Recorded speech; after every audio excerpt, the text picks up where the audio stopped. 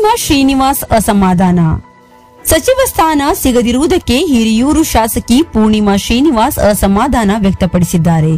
ಫೇಸ್ಬುಕ್ನಲ್ಲಿ ಪೋಸ್ಟ್ ಮಾಡಿರುವ ಅವರು, ಶಶಿಕಲಾ ಜೊಲ್ಲೆಗೆ ಸಚಿವ ಸ್ಥಾನ ನೀಡಿರುವುದಕ್ಕೆ ಬಹಿರಂಗವಾಗಿಯೇ ಅತೃಪ್ತಿ ಹೊರಹಾಕಿದ್ದಾರೆ. ರಾಜ್ಯದಲ್ಲಿ ಗೊಲ್ಲ ಸಮುದಾಯದಿಂದ ಏಕೈಕ ವಿಧಾನಸಭಾ ಜನಪ್ರತಿನಿಧಿಯಾಗಿ ವಿಧಾನಸಭೆ ಪ್ರವೇಶಿಸಿದ್ದ ನಾನು ಎಂದು ಪಕ್ಷ ಬಾಹ್ಯ ಚಟುವಟಿಕೆಯಲ್ಲಿ ಇರಲಿಲ್ಲ. ಯಾವುದೇ ಹಗರಣ ನನ್ನ ಸುತ್ತಿಕೊಂಡಿರಲಿಲ್ಲ. ಇಂದು ಪಕ್ಷ ತೆಗೆದುಕೊಂಡಿರುವ ನಿರ್ಧಾರ ಮನಸ್ಸಿಗೆ ತುಂಬಾ ಘಾಸಿಯಾಗಿದೆ. ಹಗರಣದಲ್ಲಿ ಸಿಲುಕಿಕೊಂಡಿರುವ ಮಾಜಿ ಸಚಿವರಿಗೆ ಮತ್ತು ಸಚಿವ ಸ್ಥಾನ ನೀಡಿ ಒಂದೇ ಮನೆಯಲ್ಲಿ ಎರಡು ಮೂರು ಅಧಿಕಾರ ನೀಡಿದೆ. ಯಾವುದೇ ಹಗರಣ ಇಲ್ಲದೆ ಇರುವ ಇನ್ನೊಬ್ಬ ಮಹಿಳೆಗೂ ಸಚಿವ ಸ್ಥಾನ ನೀಡಿದರೆ ಸಂತೋಷದಿಂದ ಸ್ವಾಗತಿಸುತ್ತಿದ್ದೆ.